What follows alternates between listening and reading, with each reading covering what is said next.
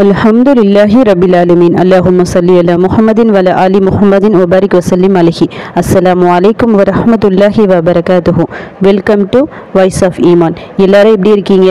நல்லா இருக்கீங்களா? அல்ஹம்துலில்லா அல்லாஹ் சுபானவத்தாலா உங்களுக்கு நீண்ட ஆயிலையும் ஆரோக்கியத்தையும் வழங்க வேண்டும் என்று துவா செஞ்சு ஆரம்பிக்கிறேன். இன்னைக்கு இந்த வீடியோவில் நிறைய பேர் செய்யும் ஒரு தவறை தான் நான் சொல்ல விரும்புகிறேன் இந்த தவறை செய்கிறதால என்ன ஆகும்னா நம்மை விட நஷ்டவாளிகள் கண்டிப்பாக யாருமே இருக்க முடியாது. அந்த தவறு என்னன்னா லைலத்துல் கதிர் இரவு முடிந்து மறுநாள் செய்யும் தவறு தான். அதாவது நோன்பு இருபத்தி ஆறு அன்னைக்கு நைட்டு லைலத்துல் கதிர் இரவு வந்து பார்த்தீங்களா இருபத்தி ஏழாம் இரவு. அந்த இரவில் அதிகமாக உபரியான தொழுகைகள் தொழுவாங்க அதிகமாக குரான் ஓதுவாங்க நிறைய துவாக்கள் திக்கர்கள் சொல்லிட்டு அந்த நாளையே ஃபுல்லாக அது எவ்வளோ நன்மை நம்மளால பெற முடியுமோ அந்த அளவுக்கு அதிகமாக நன்மைகளை செய்வாங்க. அதில் எந்த தவறும் இல்லை. ஆனால் அது அன்னைக்கு ஒரு நாளோட முடிஞ்சிடும். மறுநாள் என்ன பண்ணுவாங்கன்னா ஃபுல்லாக மறுநாள்லேருந்து தராவிய தொழுகை இருக்காது இரவு தொழுகை இருக்காது. அதிகமாக குரான்லாம் ஓத மாட்டாங்க. எல்லாமே முடிச்சிடுவாங்க அன்றைக்கே கத்தம் முடிச்சுட்டு குரான் முடிஞ்சுது சொல்லிட்டு எடுத்து வச்சிருவாங்க. எல்லாமே கம்ப்ளீட்டாக விட்டுருவாங்க. சில பேர் என்ன பண்ணுவாங்கன்னா நோன்பை கூட விட்டுருவாங்க. அந்த இருபத்தி ஆறு வரைக்கும் தான் இருபத்தி ஏழு வரைக்கும் நோன்பு வைப்பாங்க. அதுக்கப்புறம் இருபத்தி எட்டுலேருந்து நோன்பே இருக்காது சில பேருக்கு. அந்த மாதிரி தவறுகளும் செய்வாங்க. இந்த மாதிரி செய்யக்கூடாது. இது மிகப்பெரிய ஒரு தவறு. லைலத்துல் கதரை ஒரு குறிப்பிட்ட இரவில் சுருக்கி கொள்ளக்கூடாது. அதாவது இருபத்தி ஏழு மட்டும்தான் லைலத்துல் கதரு சொல்லிட்டு கண்டிப்பாக நம்ம நினைக்கக்கூடாது. ஒருவேளை இருபத்தி ஏழு லைலத்துல் கதராக இல்லைன்னா ரொம்ப பெரிய நஷ்டத்தை நாம் சந்திக்க நேரிடும்.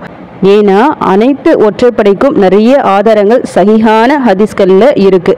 நபி சல்லாஹ் அலைவசல்லம் அவர்கள் குறிப்பிட்ட இந்த ஒரு இரவு தான் லைலத்துல் கதர் இரவு சொல்லிட்டு ஒரு டைமும் சொல்லவே இல்லை. இருபத்தி ஒன்று லைலத்துல் கதராக இருக்கலாம் இருபத்தி மூணு லைலத்துல் கதராக இருக்கலாம் இருபத்தஞ்சு இருக்கலாம் இருபத்தி ஏழு இருக்கலாம் இருபத்தி ஒம்பது இருக்கலாம் சொல்லிட்டு அஞ்சு விதமான ஹதீஸ்களில் இருக்கு அறிவிப்புகளில். அல்லாஹின் தூதருக்கே அல்லாஹ்வால் மறக்கடிக்கப்பட்ட ஒன்று உலகின் எந்த ஒரு மனிதருக்கும் தெரிய வாய்ப்பே இல்லை. சஹாபாக்கள் உட்பட லைலத்துல் கதிர் இரவு எப்போ? நபி அவர்கள் கேட்டபோது கடைசி பத்து இரவுகளில் தேடிக் கொள்ளுங்கள். குறிப்பாக ஒற்றைப்படை இரவுகளில் அப்படிதான் சொல்லியிருக்காங்க தவிர இந்த நாளில் மட்டும் தேடிக்கொள்ளுங்கள் அப்படின்னு சொல்லலை. அஞ்சு விதமான அறிவிப்புகள் இருக்கு. லைலத்துல் கதிர்வு இது இருக்கலாம். இதில் நீங்கள் தேடிக்கொள்ளுங்கள் சொல்லிட்டு நபி சல்லாஹ் அலுவலம் அவர்கள் சொல்லியிருக்கிறாங்க. அதனால அனைத்து ஒற்றைப்படைகளிலும் இரவு தொழுகை செய்யணும். நம்ம எப்பவுமே செய்கிற மாதிரி குரான் ஓதுறது திக்கர்கள் இருக்குது சொல்லிட்டு நம்ம கண்டினியூ பண்ணணும். வெறும் இருபத்தி ஏழு வரைக்கும் செஞ்சுட்டு அதோட முடிச்சிடக்கூடாது அதனால இன்னும் ஒரு நாள் நம்மளுக்கு இருக்கு. இருபத்தி ஒன்பது இரவு இருக்கு. ஒருவேளை இருபத்தி ஏழு நம்மளுக்கு லைலத்துல் கதர் இரவா? இல்லைன்னா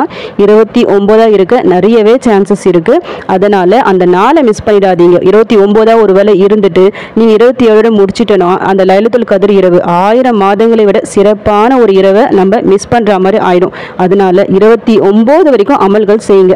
தொடர்ந்து தொழுவுங்க தொடர்ந்து ஓதுங்க. அதே மாதிரி குரான் ஓதுறது. நிறைய பேர் என்ன பண்ணுவாங்கன்னா இருபத்தி ஏழு வரைக்கும் குரான் ஓதுவாங்க. எவ்வளோ குரான் ஓதுறாங்களோ? ஒன்றோ ரெண்டோ மூணு. அவங்களுக்கு இஷ்டம் மாதிரி ஓதிட்டு ஓதலாம் தப்பில்லை. ஆனால் அன்னியோட நிறுத்திடுவாங்க. ஹ- ஹதியா பண்ணுறேன்னு சொல்லிட்டு அன்னியோட கம்ப்ளீட் பண்ணிடுவாங்க. மறுநாள் வந்து குரானை ஓத மாட்டாங்க. அப்படி பண்ணாதீங்க.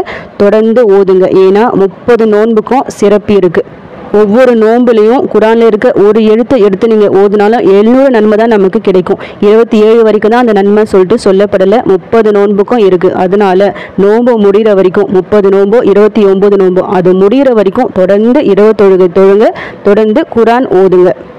இருபத்தி ஏழு இரவு தான் லைலத்துல் கதிர் இரவு சொல்லிட்டு அந்த நாளில் மட்டும் அதிக இபாதத்துகள் செஞ்சுட்டு மற்ற நாட்களில் வீணடிச்சிடாதீங்க. இன்னும் நம்மக்கிட்ட ஒரு நாள் இருக்குது ஒற்றைப்படை இரவு இன்னும் ஒன்று இருக்குது இருபத்தி ஒன்பதாவது இரவு.